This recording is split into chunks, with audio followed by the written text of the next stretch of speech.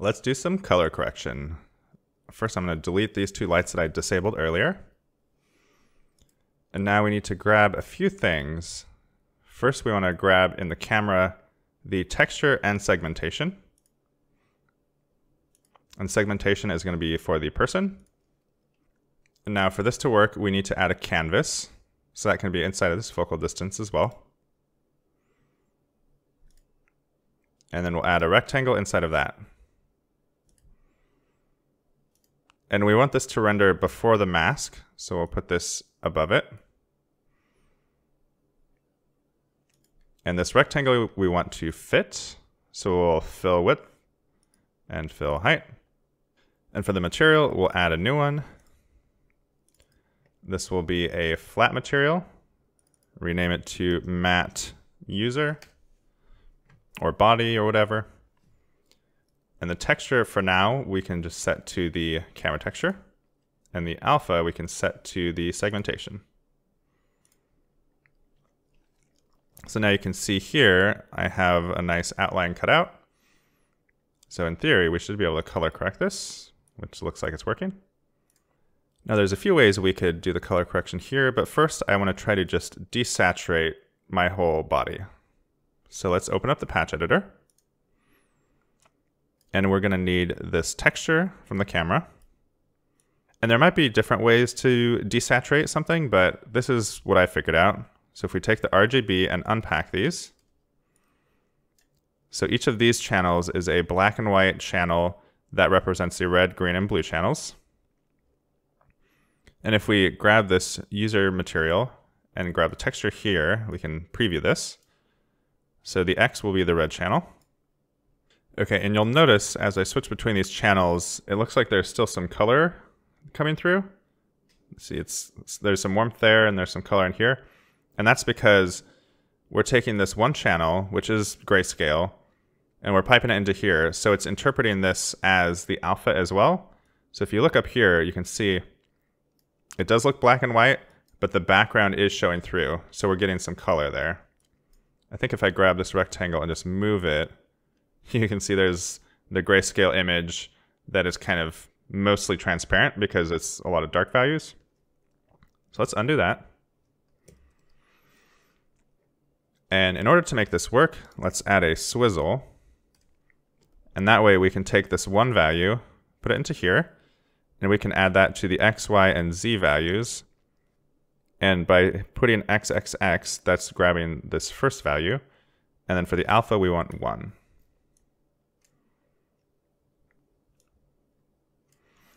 And now you can see a proper black and white channel from the green, the red, and the blue.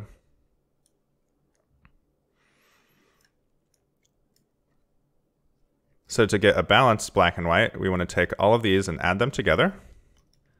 So add an add patch, and then add another add patch.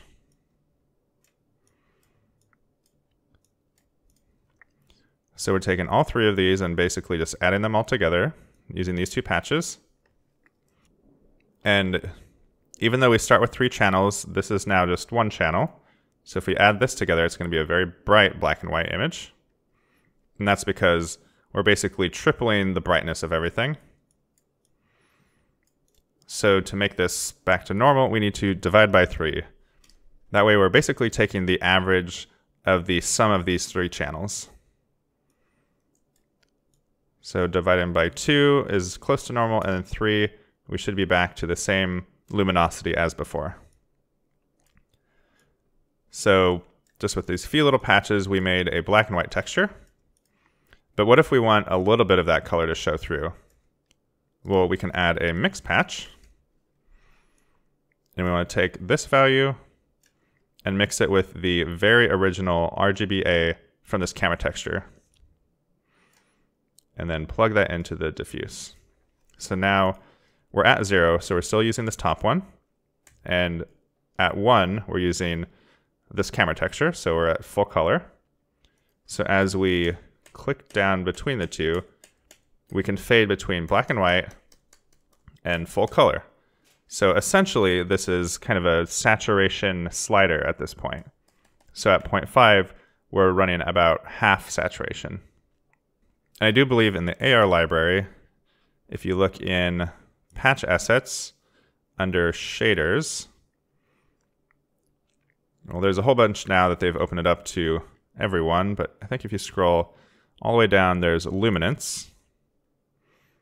And this, I think, does a very similar thing where it converts this RGB into a black and white kind of three channel.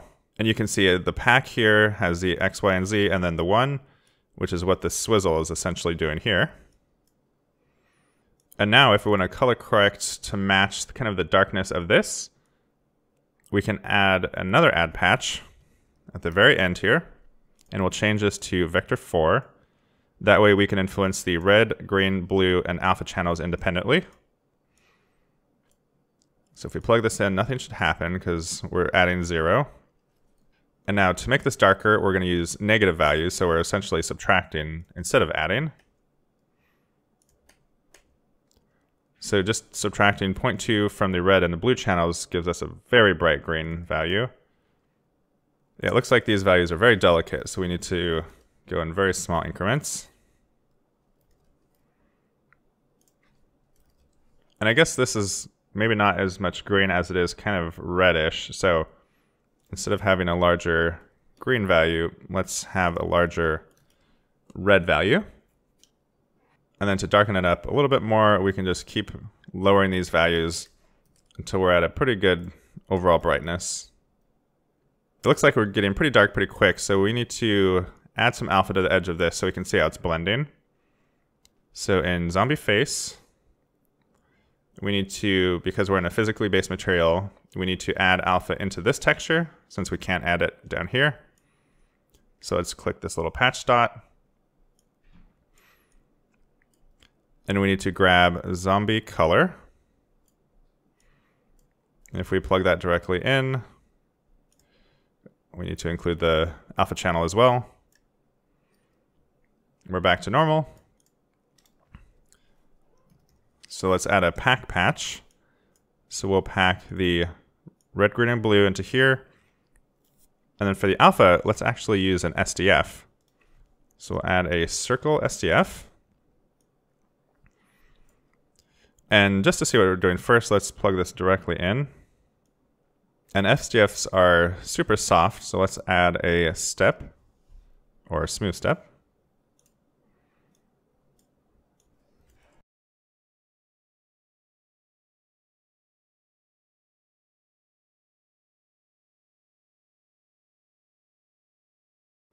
So after some tinkering with the smooth step values, I found negative 0.1 and negative 0.3 to be just about the edge here. So with that, I'm going to use this as the alpha. So I'll drag this into here. So this packs the red, green, and blue with the alpha. And then I'll drag that in here. And you see nothing happens because if we go back to this material, we need to change it from replace to alpha.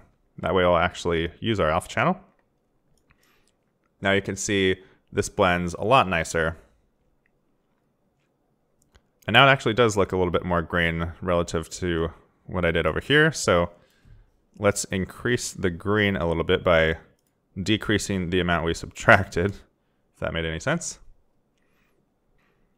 Oh, and it looks like the color value of this zombie face is kind of a light gray for some reason. So let's change that to white, just to brighten that up a little bit. And already it looks like it's blending pretty nicely with my face.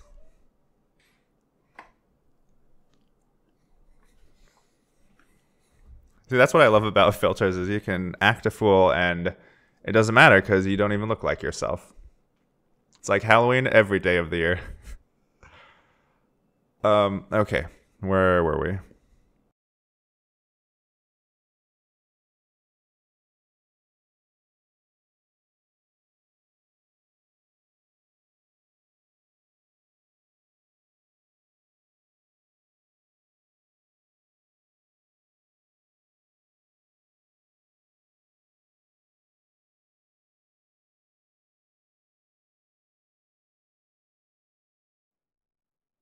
See you next lesson.